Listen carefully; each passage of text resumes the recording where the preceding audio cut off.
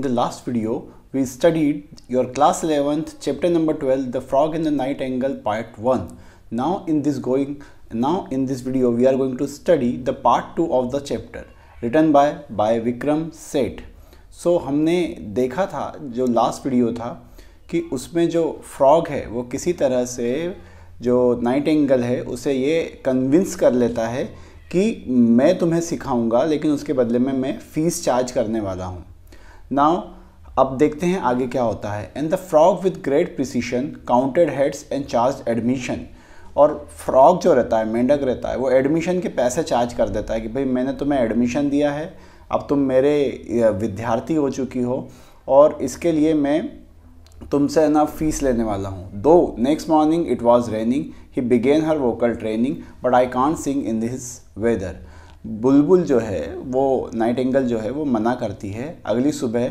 बारिश हो रही थी। उसकी वोकल ट्रेनिंग जब स्टार्ट होती है, मेंढक उससे कहता है कि चलो हम ट्रेनिंग स्टार्ट करेंगे तो नाइट एंगल कहती है कि नहीं, ये मौसम बहुत बेकार है, इस मौसम में मैं गा नहीं सकती हूँ।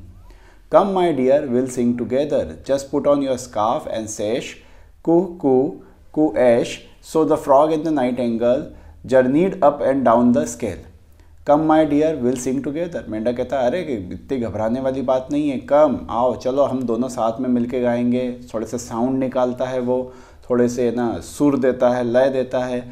और उसके बाद फ्रॉग और जो नाइट एंगल है, उनकी जर्नी स्टार्ट होती है। कभी वो ऊँचे सुर, कभी नीचे सुर लेते हैं और गाना स्टार्ट करते हैं। For six hours till she was shivering छः घंटों तक गाने का अभ्यास चलता रहता है। जब तक वो शिवर कांपने नहीं लग जाती है तब तक वो इसका चलता रहता है। And her voice was hoarse and quivering though subdued and sleep deprived यहाँ पे ये जो सारे वर्ड आए हैं, जैसे इसमें आप देखेंगे कि hoarse rough and unclear quivering shaking and trembling subdued quiet with little energy है ना? और ये एक और वर्ड आता है tiara a semicircular metal band decorated with jewels and worn by wealthy women on formal social occasion तो यहाँ पर वो क्या कहता है? कि छः घंटों तक उनका गाना चलता रहता है और उसकी जो आवाज़ है, वो काफ़ी ना अनक्लियर सी हो जाती है, काफ़ी अजीब सी हो जाती है है ना, वो काँपने लग जाती है, उसकी आवाज़ में भी काँपना महसूस होना शुरू हो जाता है and sleep deprived in the night her throat revived और आखिरकार वो इतना ज़्यादा कर मेहनत करके थक जाती है, वो सो जाती है, और रात में उसका जो गला होता है है ना, वो थोड़ा थोड़ा सुकून लेता है, और कहीं ठीक होता है and the sumac tree was bored है ना तो यहाँ पर जो ट्री है, पेड़ है, वो जो है उसके गाने से फिर से भरना शुरू होता है। With a breathless title crowd owl of Sandwich duck of Kent देखिए यहाँ पे जो जितने भी नाम आ रहे हैं title crowd owl of Sandwich duck of Kent ये पक्षियों के नाम हैं, है ना? और साथ में एक जगह के नाम लिए गए हैं। तो ये सारी इमेजनरी प्लेसेस के नाम हैं, जैसे आउल ऑफ़ सैंडविच तो कोई जो मेंढक है, वो किसी ऐसी जगह से आया है जहाँ पे उस जगह को ही सैंडविच कहा जाता है। है ना? कैंट असल में इंग्लैंड में एक जगह है है ना? कैंट नाम की जगह है इंग्लैंड में। डक ऑफ़ कैंट कैंट से कहाँ क्या आए हैं?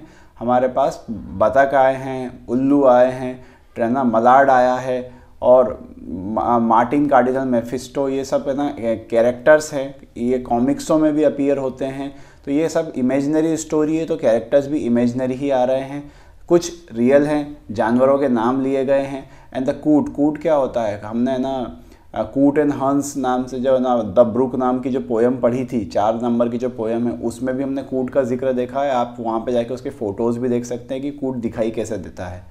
तो इस तरह से ये सारे पक्षी उसका गाना सुनने के लिए आए थे, पैसे देकर आए थे ये लोग। Ladies with tiaras glittering in the interval set एक बैंड होता है गले पे, है ना? ये जो टियाराज होता है, ये है ना, जो बड़े बड़े घर की महिलाएँ रिच महिलाएँ होती हैं वो इंग्लैंड, लंदन में पहनती हैं। हमारे वहाँ तो नेकलेस और ये सब कुछ चलता है। वहाँ पे वो लोग टियारास पहनती हैं। तो लेडीज़ आई थी, ग्लिटरिंग, चमकती हुई टियारास पहन के, in the interval set twittering and the frog observe them glitter with a joy बहुत sweet and bitter every day the frog who sold her अब है ना? जब इंटरवल होता तो सब ट्विटर यानी कि बातें करते आपस में। ट्विटर मतलब तो चिड़िया होती है, लेकिन यहाँ पे यहाँ पे सेंस निकल रहा है कि ये लोग सब बातें करते थे कि वाह वाह, क्या शानदार शो था, क्या शानदार सॉन्ग था। और मेंढक जो था, वो खुश भी होता था, दुखी भी होता था। खुश इसलिए होता था क्योंकि पैसा ही पैसा आ रहा है, पैसा ही पैसा आ रहा है। लेकिन दुखी इसलिए होता था क्योंकि वो जलता था कि बुलबुल को इतनी प्रसिद्धि मिल रही है और इतना अच्छा वो गा लेती है तो उसको है ना? वो खुश भी होता था क्योंकि पैसा आ रहा था और दुखी भी होता था क्योंकि उसे पसंद नहीं आता था कि उसके अलावा किसी और की तारीफ़ें हों। एवरी डे हर दिन फ्रॉग उसकी जो आवाज़ है उसको बेचता रहता था। फ्रॉग उस बुलबुल को ही बेच रहा था, एक तरह से देखा जाए तो क्योंकि वो उसका पूरी तरह से यूटिलाइजेशन कर रहा था यूज़ कर रहा था। Songs for silver tried to scold her you must practise even longer till your voice like mine grows stronger अब मेंढक उसे क्या ताने मारता था? कि तुम्हें और ज़्यादा प्रैक्टिस करना चाहिए। You must practise even longer तुम्हें और ज़्यादा देर तक, और ज़्यादा समय तक प्रैक्टिस करना चाहिए। टिल योर वॉइस तब तक जब तक तुम्हारी जो वॉइस है लाइक माइंड ग्रोज स्ट्रोंगर जब तक वो आवाज़ मेरी जैसी स्ट्रॉन्ग नहीं हो जाती, मेरी जैसी बेहतर नहीं बन जाती, तब तक तुम्हें प्रैक्टिस करते रहना चाहिए। In the second last night you got nervous in mid flight वो कहता है कि अभी मुझे याद है सेकंड लास्ट नाइट की बात है मतलब पिछली कल की नहीं, उसके पहले की जो रात थी, उसमें मुझे याद है, मैं सुन रहा था तुम्हें, जब तुम शो कर रही थी तो तुम नर्वस हो गई थी मिड फ़्लाइट में, यानी कि गाते गाते जो बीच का समय आया, उस बीच के समय में तुम क्या हो गई थी नर्वस पड़ गई थी। तो मुझे ये चीज़ पसंद नहीं आई और ये सब कुछ नहीं चलेगा, तुम्हें और ज़्यादा प्रैक्टिस करना चाहिए। मेरी जैसी आवाज़ बेहतर करो, तब तक प्रैक्टिस करती रहो।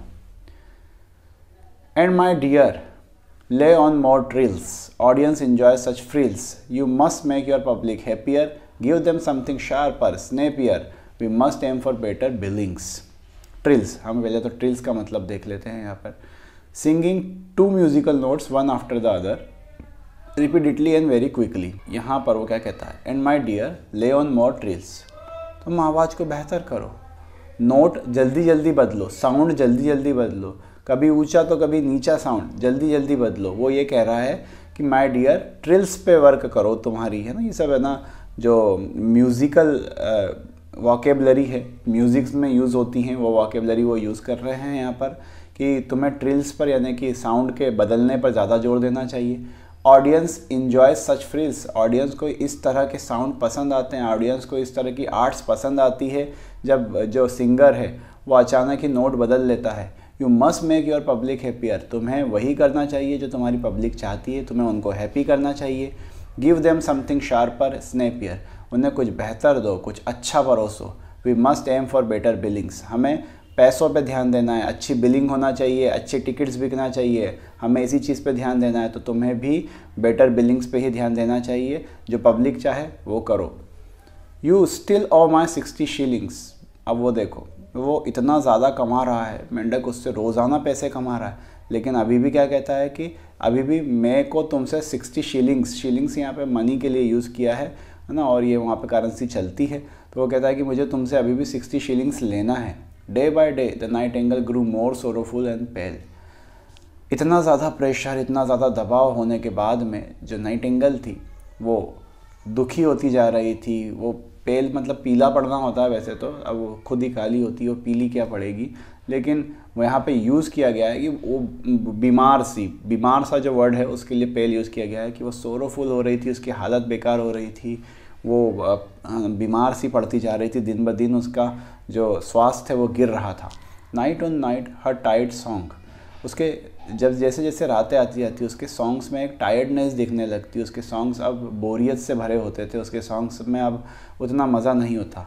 Zipped and trilled and bounced along है ना? यहाँ पे जिप्ड का जो सेंस है, वो सेंग क्विकली वो क्या करती थी? Zipped and trilled and bounced along वो जल्दी जल्दी गाती थी ट्रिल करती थी, वही बदलती थी साउंड को और, है ना? एक जैसे सॉन्ग सब उसके होने लगे थे जो नीरस हो गए थे, उसमें मज़ा नहीं आ रहा था।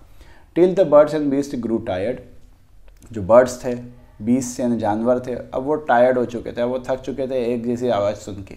At a voice so uninspired अब उसकी आवाज़ में इंस्पिरेशन नहीं था। And the ticket office gross crash और जैसा कि होता है, जब लोग बोर हो जाते हैं आपकी आर्ट से तो टिकट्स बिकना बंद हो जाते हैं टिकट्स बिकना बंद हो गए। And she grew more morose for her ears were now addicted लेकिन वो तो और ज़्यादा निराश होने लगी, वो निराश क्यों होने लगी?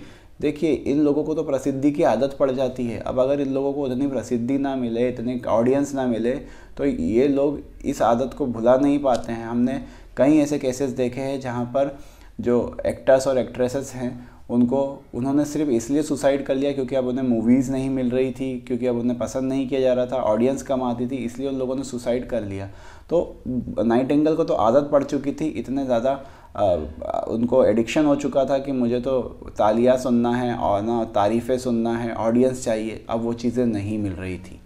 To applause quite unrestricted and to sing into the night all alone gave no delight applause restricted हो चुका था, बहुत कम लोग आ रहे थे तारीफ़ करने के लिए।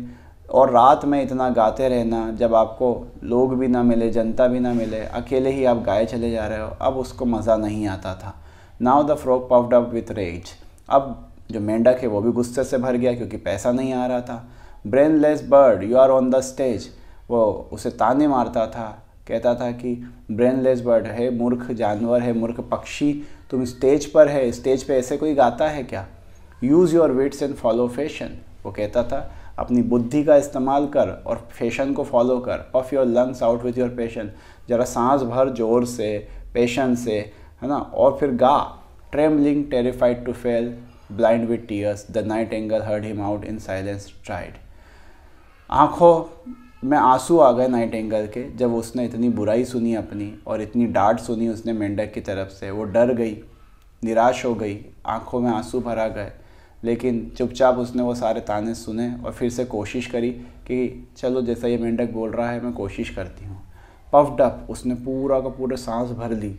वो कांपने लगी, सांस भर गई उसकी। बस्ट वेन उसके दिमाग की नस फट गई एंड डाइड और वो मर जाती है, क्योंकि उससे इतना ज़्यादा प्रेशर झिलाता नहीं है। Said the frog I tried to teach her मेंढक क्या कहता है? अरे, मर गई। मैंने तो इसे सिखाने की बहुत कोशिश करी। But she was a stupid creature लेकिन ये तो एक स्टूपिड एक बहुत ही मूर्ख क्रिएचर प्राणी थी। फार टू नर्वस बहुत ही नर्वस रहती थी, बहुत ही चिंतित रहती थी, है ना? और मैंने तो इन्फ्लुएंस करने की कोशिश करी, लेकिन ये मानी नहीं और ये नहीं कर पाई, ये सहन नहीं कर पाई। Well poor bird she should have known that your song must be your own बेचारा पक्षी, इसे पता होना चाहिए कि आपका गाना आपका होता है, उसे आपको कोई सिखा नहीं सकता। That's why I sing panache मैं इसीलिए बे रोक टोक से गाता हूँ, बेफिक्री से गाता हूँ, मुझे किसी की कोई फ़र्क नहीं पड़ता। कु, उ, आ, koo ash koo ash and the forgone the frog blared unrivalled through the bog और मेंढक को कोई फ़र्क नहीं पड़ा, मेंढक फिर से टर्राना शुरू, फिर से आवाज़ें लगाना शुरू करता है। और वो जो बॉग था, वो जो जगह थी, उसमें फिर से मेंढक की जो बेकार सी ध्वनि है, वो फिर से गूंजना शुरू कर देती है और बुलबुल अपनी जान खो देती है। So it was all about the chapter thank you for watching